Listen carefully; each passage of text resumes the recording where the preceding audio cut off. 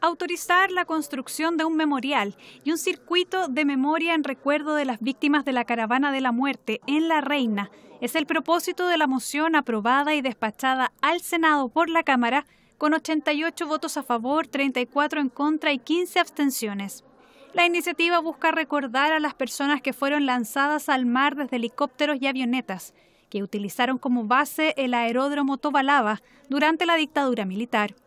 El memorial se ubicará en el bandejón central de la avenida Fernando Castillo Velasco, frente al citado aeródromo, con el fin de garantizar la memoria de las víctimas y la no repetición del pasado reciente. Las obras se financiarán mediante colectas públicas, donaciones y aportes privados que irán a un fondo determinado. Las fechas de las colectas las establecerá una comisión especial que se crea para la construcción del memorial, la instancia de siete miembros será compuesta por representantes del Ministerio de Justicia como presidente, el Ministerio de las Culturas, del Ministerio de Bienes Nacionales, de la Comisión Chilena de Derechos Humanos, del Instituto Nacional de Derechos Humanos y dos miembros de organizaciones de la sociedad civil que hayan impulsado el memorial.